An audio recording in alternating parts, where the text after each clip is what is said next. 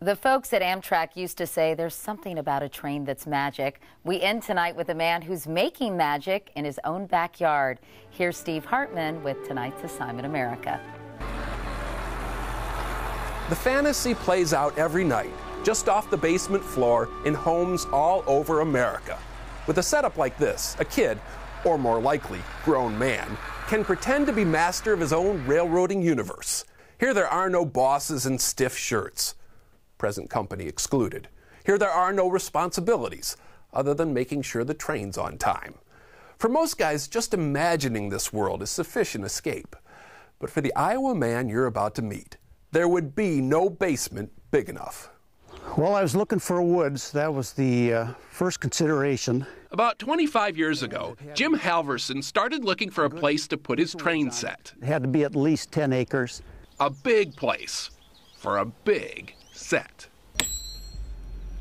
A forklift operator by trade, Jim spent five years of nights and weekends just laying the track. Oofta.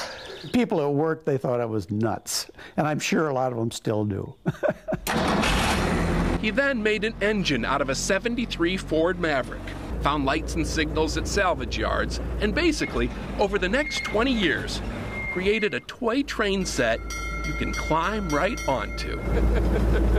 it runs from his garage along the edge of his property past the depot he built. Got a little bit carried away with it. A little bit?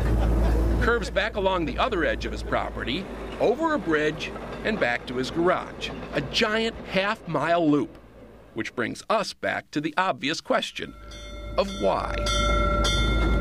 Jim is unmarried and has no children, outside of his beagle Lily, who is surprisingly still alive. Almost no one has even seen this train set. I didn't build it for anybody else, I just built it for myself. Jim says a lot of times he just likes to sit in the depot. It's kind of my little retreat away from the rest of the world. You know, I can go back there and sit and relax and not think of anything else. Although almost no one goes to this extreme, America's basements and backyards are full of old cars and woodworking projects that men especially use to forget, to escape their day, their honey-do lists, or most often, just their age. Jim is 61, but he says every time he goes into his backyard, he's immediately that five year old boy watching the train go by his childhood farm. Wow. And a lot of people are really wild about not only toy trains, but trains in general. I, know. I was too. That was my favorite thing growing up. I'd go down and watch the trains go by with my dad. Oh, that's yeah. so cute. So I like the story. Yeah, I like the story too. And I like that they you made yourself so small in that one shot. Yeah, squeezing my ego that small was the hard part. It was. All right, tell us about next week. Okay. Next week, going barefoot on the beach is one thing. But next week, we'll meet a man who refuses to wear shoes anywhere and there are others like him. A lot of people following suit this weekend, right? yes, Steve? yes. Have, have a nice Memorial Day weekend. And that is the CBS Evening News. I'm Katie Couric in New York. Thank you for watching this week.